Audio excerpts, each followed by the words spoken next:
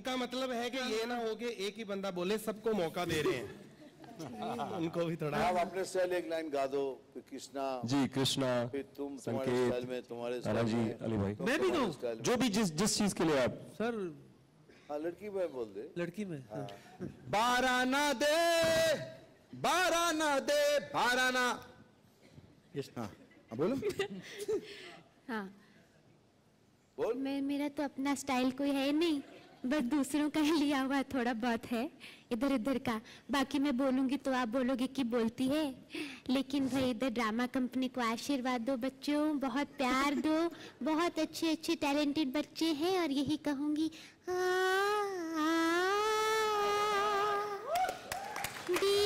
Drama company मिथुन दा बेटा जीते रहे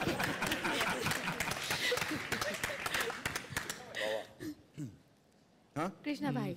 मैं गाना? Sir sir sir. Sir sir sir sir sir sir अरे बेटा नहीं नहीं। उधर देख उधर। सबसे ज़्यादा ही ऐसा। नहीं मैं लड़की में अली की बात करी थी ये लड़की। संकेत। अब मैं तो जाना चाहता हूँ ये मुझे सुन के अच्छा लगा पहली बात तो। मैं बस यही बोलना चाहता हूँ कि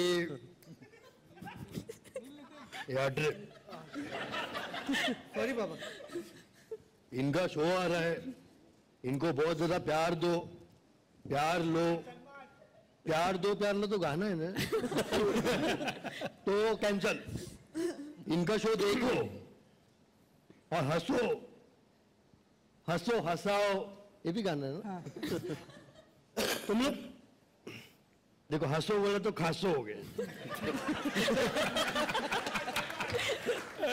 ठीक है एक मिनट वापस ये पूरा कट कर दो सब वापस।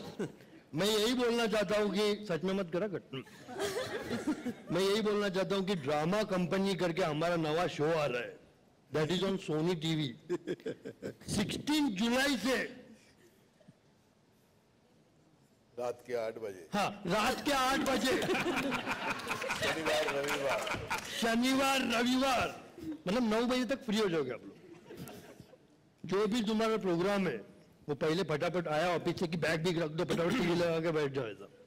तो कंटिन्यू करो I love my country and Farhan आपसे कुछ बोलेंगे। बस आप देखिए एंड एंजॉय द शो शाम को आठ बजे सैटरडे संडे इस बच्चों के साथ।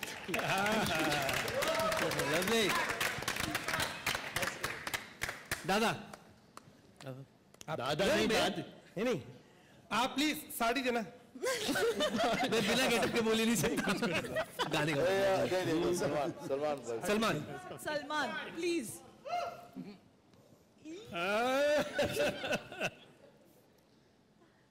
शाम को आठ बजे शनिवार की रात को ये प्रोग्राम हमारा है जो ड्रामा कंपनी देखना ना बोली अपने बच्चों के साथ बड़ों के साथ क्योंकि इसके अंदर जो है सर बिल्कुल भी ऐसे बलगैरिटी नहीं है sir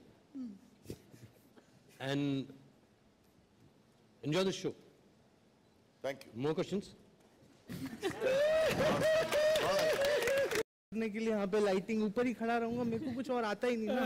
मैं ना ये कर सकता हूँ ना वो कर सकता हूँ मैं वो कर सकता हूँ। मैं वही करूँगा खुश रहूँगा। Be very happy. अभी भाई चल,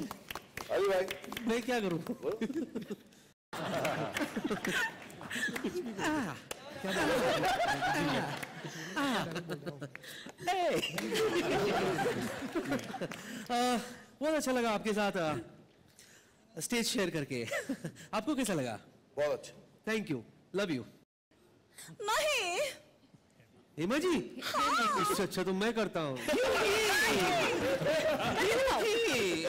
सोचने वाली बात तो ये है। किसका अच्छा था? दादा लव यू। दादा। मैं ओरिजिनल थी। यस हाँ तो तुमने मेरा कॉपी किया। आपका श्रीदेवी श्रीदेवी। श्रीदेवी। श्रीदेवी। वो बाबा बोल रहा है करने को। भैया। भैया आप?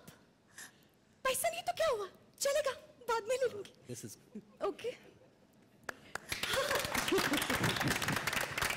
ओके तो कर चुके हो। Tana ji.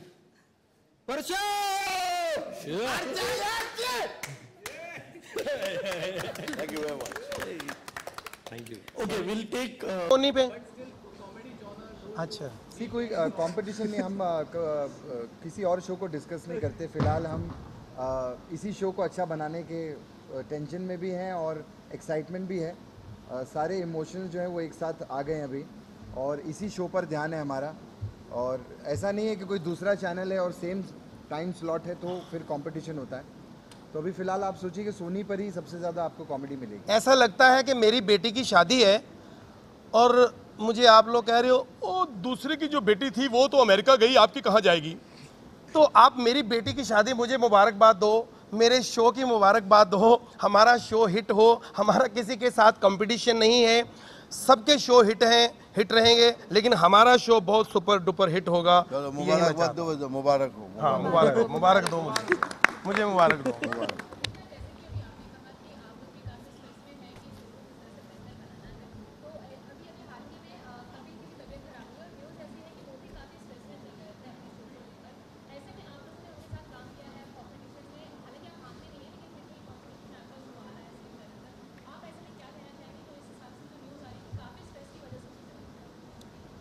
स्ट्रेस उनका अपना होगा, जो भी उनकी वो शूटिंग्स चल रही हैं फ़िल्म की भी शूटिंग चल रही है।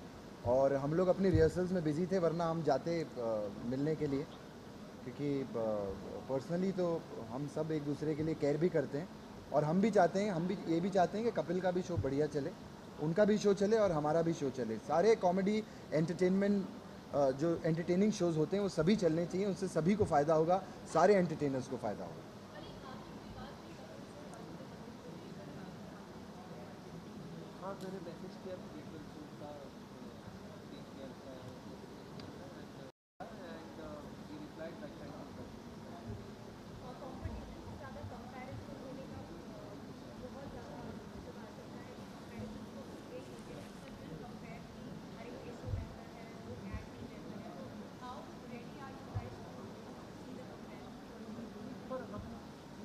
वो सब फियर हम क्यों लेकर के चले?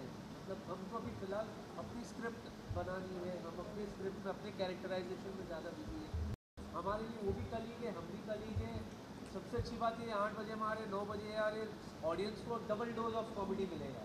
तो I think people should enjoy that more कुछ करना और ऐसे अच्छे कलाकारों के साथ हमें भी कुछ सीखने को मिलेगा। And for me it's a challenge इसीलिए कह रहा हूँ कि मैं नर्वस हूँ, क्योंकि comedy is just it it just like this it's it's just that you miss the reflex you leave missed it अगर उस, इसमें मैं अपने आप को समा पाऊँ, इसमें मैं अपने आप को अच्छी तरह से, इनकी तरह, इनको सभी को लेकर एक अच्छी मतलब कोई भी नाटक जो इन लोग करने जा रहे हैं, उसे अच्छी तरह से पेश कर सकूँ, इससे बड़ा आनंद मुझे क्या मिलेगा? कोलकाता में मेरी उम्र कब देखिए अभी ये बोल के तो मेरी अभी पता चल जाएगा मैं क्या हूँ तो मैं जैसे इस ड्रामा कंपनी में फेंकता हूँ तभी मैं मेरे ख्याल से दस ग्यारह साल का होगा।